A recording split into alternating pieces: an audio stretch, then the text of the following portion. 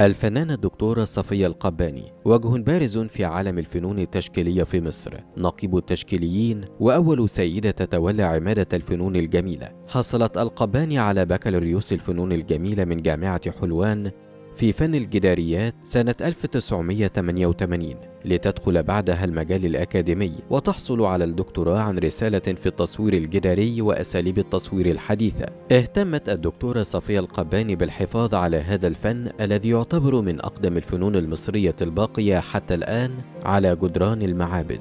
في سنة 2015 أصبحت القباني أول سيدة تتولى عمادة كلية الفنون الجميلة بجامعة حلوان منذ تأسيس الكلية في عشرينيات القرن الماضي واستمرت في المنصب حتى سنة 2018 وحصلت على منحة لدراسة الفنون في إيطاليا سنة 2002 وأصبحت أول سيدة تتولى منصب نقيب الفنانين التشكيليين منذ إنشاء النقابة سنة 1976 نفذت القباني عددا من أبرز الجداريات في مصر منها جدارية مستشفى سيدي كرير العسكرية والنادي العام لضباط الشرطة. والنادي النهري لوزارة الخارجية. وخلال مسيرتها الفنية نظمت القبان العديد من المعارض الخاصة والجماعية داخل مصر وخارجها. وللدكتورة صفية القباني العديد من المؤلفات والدراسات الفنية.